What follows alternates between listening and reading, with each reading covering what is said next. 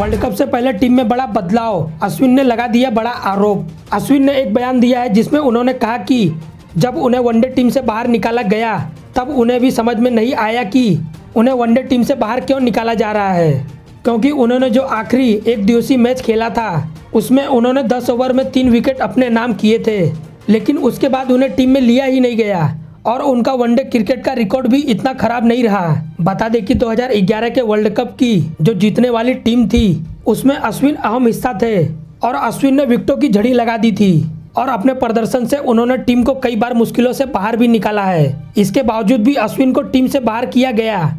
लेकिन आज अश्विन ने फिर से कह दिया है कि उन्हें टीम से बाहर निकाला गया है। वह गलत है और शायद चहल और कुलदीप भी उतना अच्छा प्रदर्शन नहीं कर रहे हैं जितना अश्विन ने किया था। इसके बावजूद उन्हें टीम से निकाला गया, उनकी समझ से परे है। तो दोस्तों, आपका क्या मानना है? कमेंट कर बताएँ। इस वीडियो को लाइक करें, हमारे चैनल को सब्सक्राइब करें। धन्यवाद।